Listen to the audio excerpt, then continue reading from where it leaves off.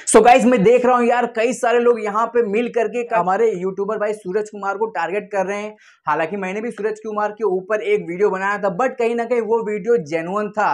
And मेरा personal experience जैसा था, उसके हिसाब से मैंने उस वीडियो का रिप्लाई दिया था। बट अगर बात करें विक्रांत रोना की सो गाइज़ विक्रांत रोना के हिसाब से अगर मैं देखूँ, इस मूवी को टोटल जिस तरह से यहाँ पे सूरज कुमार ने इसका रिव्यू दिया है।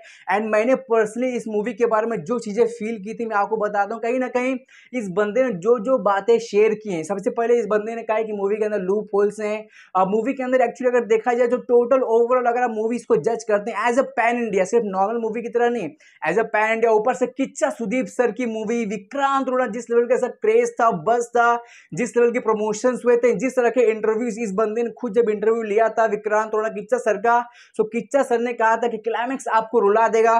बट ऐसा नहीं है क्लाइमैक्स आपको रुलाता नहीं। हाँ बट कहीं ना कहीं आपके अंदर एक इमोशनल टच डाल देता है। एंड ये बात मैंने खुद अपने रिव्यू के अंदर कहा था कि मूवी आपको लास्ट में एक इमोशनल टच देगी। बट अगर बात करते हैं रुलाने वाला सीन की तो ऐसा कुछ था ही नहीं। सिंपल सी बात है। एंड लूप होल्स वो रियलिटी है क्योंकि अगर आप, और लिंदी भी ऊपर से लिंदी भी ये भी रियलिटी है। अगर आप लोगों ने मूवी ध्यान से देखा होगा तो आप मेरी इस बात से एग्री करेंगे कि इंटरवल के पहले या फिर इंटरवल के बाद ही कई सारे ऐसे सीन्स है, कई सारे फालतू के आपको लगेंगे सीन्स चल रहे हैं, जो कहीं ना कहीं आपको बोरियत दे सकते हैं। एज ए नॉर्मल ऑडियंस अगर आप मूवी को देखोगे तो कहीं ना कहीं आप बोर हो जाओगे भाई मतलब हो रहा है? एंड फालतू में दिमाग लगाने वाला चीज़ हो रहा है ऐसे में। हालाँकि स्टोरी बिल्डअप हो रही होती है उस टाइम में बट नॉर्मल ऑडियंस की अगर बात करते हैं, जो सिर्फ़ मज़ा लेने के लिए मूवी देखने आते हैं कि भाई, अच्छे गाने, अच्छे एक्शंस एंड लगातार कुछ तगड़े डायलॉग्स मिले तो कहीं ना कहीं यहाँ पे डायलॉग्स में थोड़ी सी ऐसी कुछ कमी रह गई है जो आपको मानना पड़ेगा एंड वो लूप होल्स के अंदर आ रही रियलिटी है। और भाई साहब, यहाँ सूरज कुमार ने तारीफ़ भी की कि भाई क्लाइमैक्स काफ़ी अच्छा है। टॉप नोच की यहाँ पे भाई साहब विजुअल्स आपको मिलते हैं। सिनेमाटोग्राफी काफ़ी ज़बरदस्त की है। खास तौर पर क्लाइमैक्स के अंदर की बवाल एंड जो सरप्राइज़ आपको मिलता है क्लाइमेक्स के टाइम पे, वो भी काफ़ी शॉकिंग था एंड ये मानना पड़ेगा, ये अच्छे पॉइंट्स थे जो उस बंदे ने शेयर किए।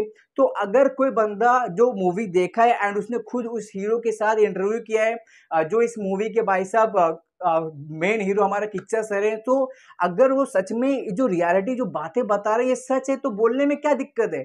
सिंपल अगर मैं सपोज़ अगर मैं इंटरव्यू लेता एंड मैं उसके बारे में बोलूँगा तो कहीं ना कहीं मेरे अंदर भी ये रहेगा भाई कि चलो ठीक है, मैंने उनका इंटरव्यू लिया है, उन्होंने अच्छा परफॉर्मेंस किया है, वो मैं बता दिया, लेकिन कहीं ना कहीं जो स्टोरी के अंदर, जो कहीं ना कहीं डायरेक्शन के अंदर कुछ ना कुछ वो चीज़ें रह गई हैं, जो शायद से फालतू में डाल दी गई हैं, या फिर जो नहीं होती, चल जाती, या फिर इसके बजाय कुछ और होता, क्योंकि मैं इस मूवी को एज अ पैन इंडिया जज करूँगा।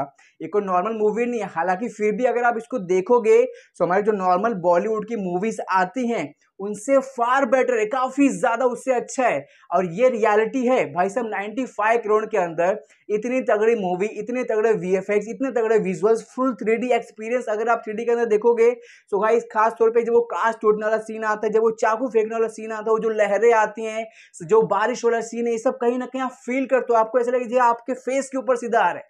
सो ये सब तारीफ़ करने वाली चीज़ें थी, उसने उसने तारीफ़ की।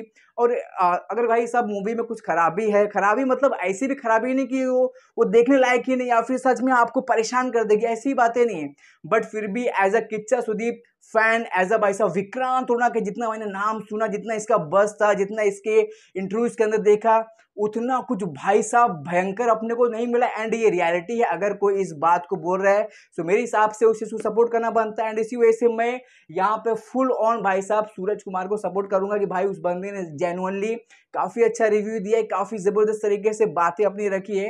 एंड जो यहाँ पे दूसरे बंदे जो फालतू में उसको भाई साहब हेट करने की कोशिश कर रहे हैं, मेरे हिसाब से वो गलत है। आप लोग इसके ऊपर क्या कहना है प्लीज़ कमेंट करना। अगर आप लोगों ने यहाँ पे विक्रांत रोना को देखा है तो सच में आप एग्री करते हो कि नहीं, कि जो रियलिटी है, कि उसके अंदर लूप होल्स में कुछ ना कुछ सीन्स में आपको थोड़ा बोरिंग लगेगा। और ये भी हकीकत है कि मूवी कहीं ना कहीं काफ़ी अच्छी है बट फिर भी कहीं ना कहीं दो, बोलते हैं ना, दो नज़रिया आपके अंदर आ जाता है। अगर आप as a pan India movie देखते हो, विक्रांत रोना देखते हो तो कहीं ना कहीं आपके अंदर ये थोड़ी सी कमी वाली बात तो आई जाएगी। आप लोग क्या कहते हैं कमेंट करना चैनल पर सब्सक्राइब कर देना, और आप इस बात से एग्री करते हो नहीं प्लीज़ कमेंट करना। बाय